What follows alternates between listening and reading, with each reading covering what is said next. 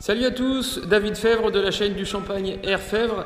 Euh, on se retrouve aujourd'hui pour une vidéo euh, sur la partie des vins. Alors de temps en temps c'est le tracteur, aujourd'hui ce sera, les vins. Euh, j'avais dit sur une vidéo pendant les vendanges que je vous donnerais un petit peu de nouvelles sur la vendange 2018 et son évolution, la direction que, que prennent les vins. Donc voilà, on va rentrer tout de suite dans la cuverie. C'est là où tout se passe.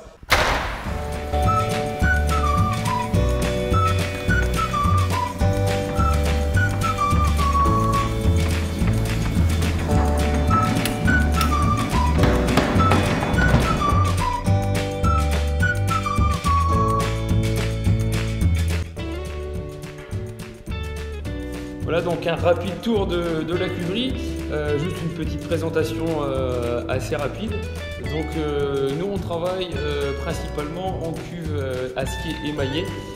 alors il y a deux cuves qui sont juste derrière, des cuves en inox qui sont de petites quantités qui nous permettent de, de bien finir les volumes. et puis on a quelques nouveautés ici où on a travaillé un petit peu en fût sur cette dernière vendange.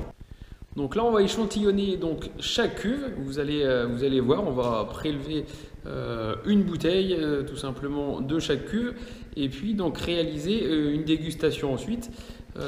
donc dans la logique du projet qu'on est en train de lancer, donc du projet de, terroir, la logique c'est d'isoler à la vendange en fait eh bien chaque parcelle, chaque petit îlot euh, on a un, petit pressoir donc de 2000 kg qui nous permet justement de faire euh, des tout petites parcelles.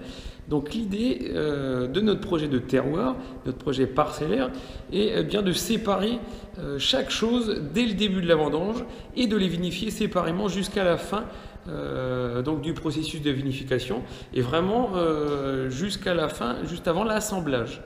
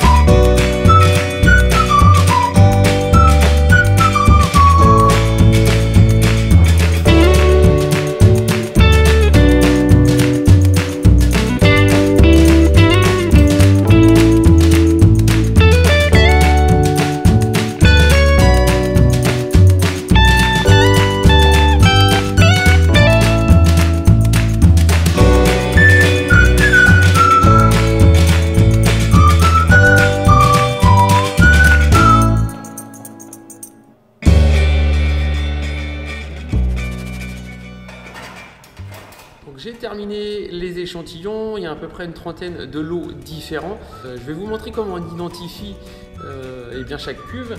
Je vais approcher un petit peu, j'espère que vous allez voir à la caméra.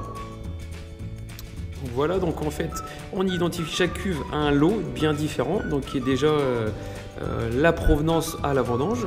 Ensuite, donc il y a le numéro de cuve, le cépage de la parcelle et puis la quantité de la cuve. Donc ces éléments de traçabilité vont nous permettre de bien bien identifier les lots et euh, de savoir ensuite dans l'assemblage final euh, comment on va pouvoir croiser euh, des cuves entre elles et donc jusqu'à la bouteille finale on saura parfaitement ce que contient les bouteilles et d'où elles viennent de quelle parcelle, de quel cépage ça vient. Voilà, donc je vais maintenant capsuler euh, chaque échantillon avec ce petit appareil artisanal. Et puis on va aller commencer à déguster euh, cette vendange 2018 euh, qui s'annonçait merveilleuse de par la qualité des, raisins. Donc on va aller voir si ça se confirme. Alors on a quelques tendances bien sûr puisqu'on a déjà un petit peu dégusté de temps en temps. Et on sent qu'il y a de belles choses en tout cas qui, qui se profilent.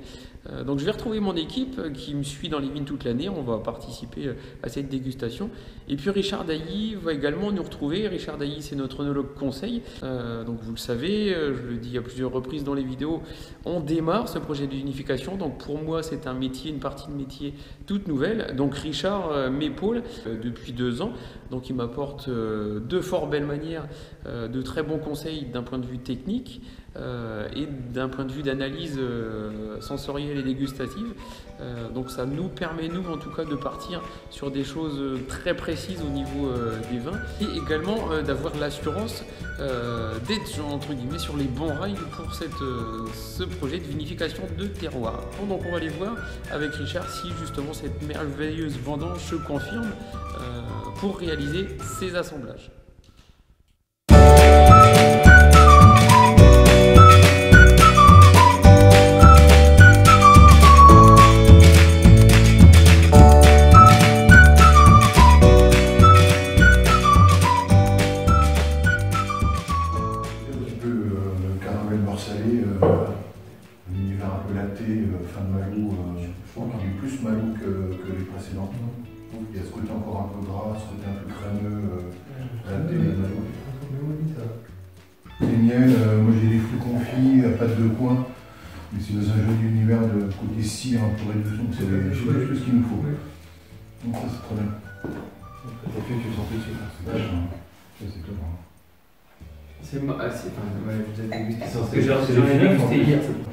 Parce que on a beaucoup d'agrumes, je trouve. Mais les agrumes, mais le côté orange mandarine, qui est vraiment très, très expressif. Pour un meunier, c'est. Ouais. Côté caramel, du fruit sec, du miel, des abricots. C'est très complexe, c'est joli. Hein. Mmh. Le bois est étonnamment discret. Le bois il vient juste en rétro-olfaction après. À la fin, ouais. À la fin, euh, Bon, euh, si tu. Effectivement, euh, tu le sens vraiment qu'à la fin, c'est très très discret, très léger. Ouais, mais ça, ça, donne du gras plutôt que le, gros goût de bois. Donc je trouve que c'est agréable. Voilà, donc c'est terminé pour cet épisode. Euh, on a terminé euh, la dégustation des vins de, 2018. Euh, donc je vous donne rendez-vous la semaine prochaine pour un second épisode qui vous expliquera en détail eh bien, les impressions de, Richard. Donc il y aura une petite interview justement. donc moi je vous donne rendez-vous la semaine prochaine. Merci de nous suivre. À bientôt. Salut